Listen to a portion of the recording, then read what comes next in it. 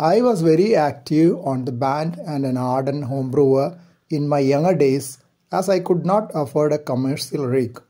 I had started off with a solid state VU2VWN QRP which was very popular at the time. Later I upgraded to a hybrid QRO with parts of the VU2VWN QRP and a 3x807 vacuum tube RF amplifier and could work a lot of DX mostly on CW.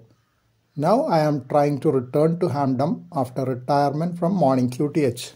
Being decades older, I am on the lookout for semi-assembled kits and found some at hfsignals.com.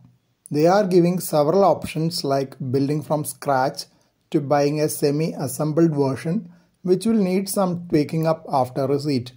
I also found that at least one VU2 ham is using it as mentioned on QSLNet page of the ham.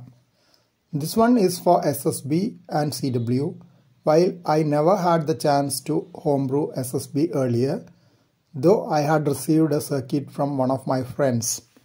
The rig which I am thinking of is Mu BITX V6, which they mention is for SSB and CW. It seems to be a good QRP with 10 watts PEP on lower HF bands and 5 watts on 28 MHz. It is an Arduino Nano controller based transceiver. They have also provided detailed circuit diagrams and descriptions of how it works.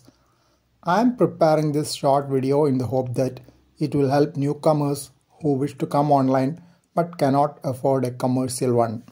Of course, this is not a paid promotional video and I have not used the equipment yet though I am planning to try it out sooner or later.